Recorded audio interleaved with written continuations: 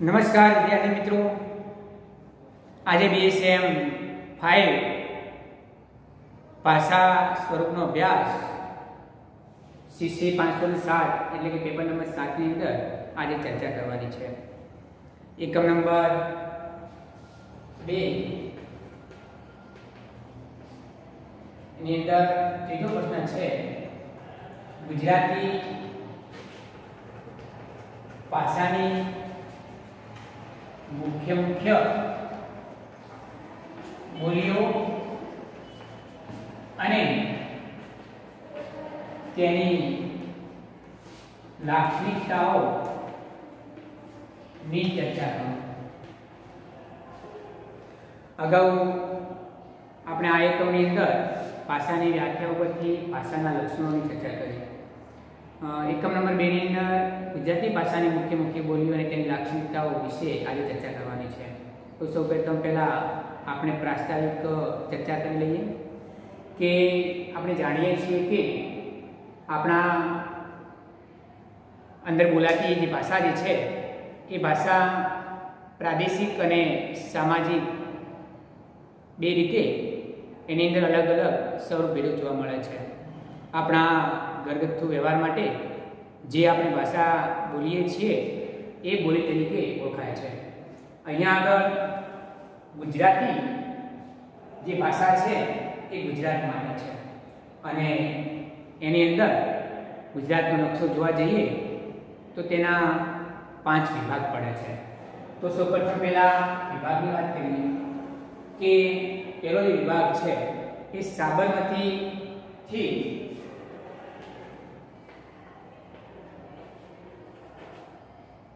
જે ઉત્તર ભાગ છે, એને ઉત્તર ગુજરાત તરીકે ઓળખાય છે. બીજો ભાગ છે, સાબરમતીથી વડોદરા સુધીનો જે ભાગ છે, એ વડોદરા સુધીનો જે ભાગ છે, એ મધ્ય ગુજરાત તરીકે ઓળખાય છે. અને ત્રીજો જે ભાગ છે, એ વડોદરાથી દક્ષિણનો સુરત અને વલસાડનો જે ભાગ છે એ દક્ષિણ ગુજરાત તરીકે ઓળખાય છે. અને ચોથો જે ભાગ છે, એ દક્ષિણ ગુજરાતથી પશ્ચિમ સુધીનો જે વિસ્તાર છે દરિયાકાંઠાનો જે સમગ્ર વિસ્તાર, એ સમગ્ર વિસ્તારને પણ આપણે દક્ષિણ ગુજરાત તરીકે ઓળખીએ છીએ. અને છેલ્લો જે છે, ઓખાથી ઉપરનો ભાગ જે છે, કચ્છ પ્રદેશ. અને એ કચ્છ પ્રદેશનો ભાગ જે છે, એ આપણા ગુજરાતની અંદર જોઈ શકીએ છીએ. હવે કહેવાય છે કે રોજિંદા આપણા વ્યવહારની અંદર જે ભાષા બોલાય છે અને એ ભાષાની અંદર પ્રાદેશિક બોલીઓ અને ગુજરાત, ભૂમિ પ્રદેશને આધારે આપણે એના ચાર વિભાગો પાડવામાં આવે છે. પહેલો વિભાગ છે સૌરાષ્ટ્રી બોલી, એટલે કે આપણે કાઠિયાવાડી બોલી કહી શકીએ. બીજી જે બોલી જે છે, એ બોલી ઉત્તર ગુજરાત.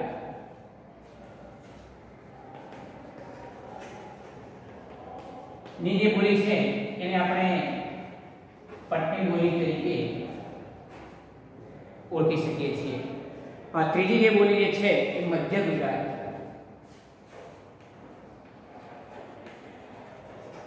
અને મધ્ય ગુજરાતની બોલી છે એ સુરતી બોલી છે. સોરી ચડોતરી બોલી છે.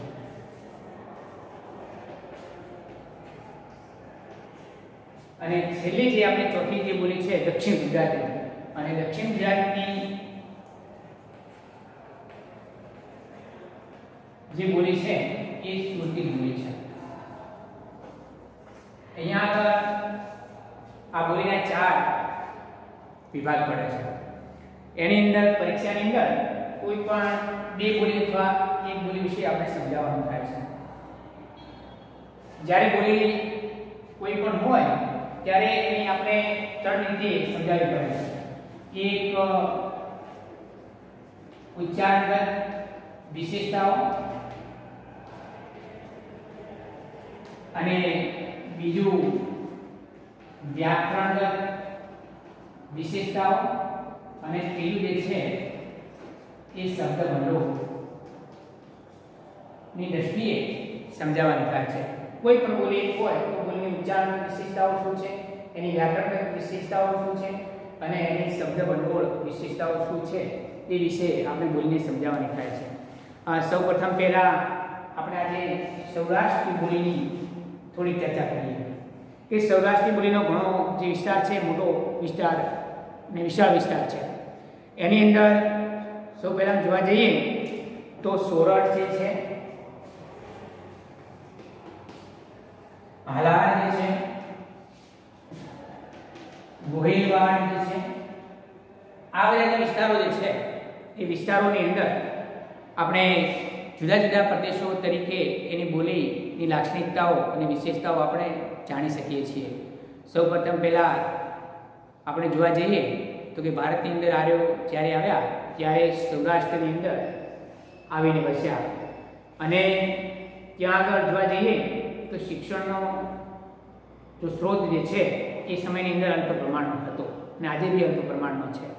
ત્યારે તેની બાહ્ય અસરો જે છે લોકબોલીની ત્યાં આગળ વિશેષ પ્રમાણમાં આપણને જોવા મળે છે. ત્યાં આગળ જોવા જઈએ તો જે ધાર્મિક મંદિરો છે ગોયલવાડમાં પલ્લવીપુર અને સિયોર વગેરે જેવા પ્રદેશો જે છે, એની અંદર ઘણા બધા સાંસ્કૃતિક ધામો આવેલા છે. અને એના કારણે ત્યાં આગળ પ્રાચીન ભાષાની અસર વિશેષ પ્રમાણમાં જોવા મળે છે. હાલાર અને ઝાલાવાડની બોલીમાં કેટલીક બહારની લાક્ષણિકતાઓ અથવા બહારની અસરો જોવા વિશેષ પ્રમાણમાં મળે છે. સૌરાષ્ટ્રની બોલીની ઉચ્ચારણની વિશેષતાઓ જે છે, એ વિશેષતાઓની અંદર દાખલા તરીકે હસ્તુતિનો લોપ થવો અળનો ર થવો જેવા અનેક ઉચ્ચારણગત સમસ્યાઓ આપણને જોવા મળે છે. તો અહીંયા આગળ નેક્સ્ટ આપણે લેક્ચરની અંદર સૌરાષ્ટ્રની જે બોલી છે, એ સૌરાષ્ટ્રની બોલીની ઉચ્ચારણગત વિશેષતાઓ જોઈશું. નેક્સ્ટમાં વ્યાકરણ જોઈશું અને છેલ્લે શબ્દ ભંડોળ જોઈશું થેન્ક યુ વિદ્યાર્થી મિત્રો. પરીક્ષાની અંદર કોઈ પણ એક કે બે બોલી આપણે લખવાની થાય છે. તો એની અંદર આપણે કોના વિશે લખવું? દાખલા તરીકે ઉચ્ચારણની વિશેષતાઓ જે છે વિસ્તાર વિશેષતાઓ છે, એની અંદર આપણે હસ્તુતિનો લોપ થાય છે, ફળનો ર થાય છે એ શ્રુતિનો વ્યાકરણગત ફેરફાર થાય છે. એની અંદર જે શબ્દો આપેલા હોય, એ શબ્દોનું વર્ણન કરવાનું થાય છે. નેક્સ્ટ લેક્ચરની અંદર આપણે એના વિશે સમજૂતી વિશેષ પ્રમાણમાં મેળવીશું. થેન્ક યુ વિદ્યાર્થી.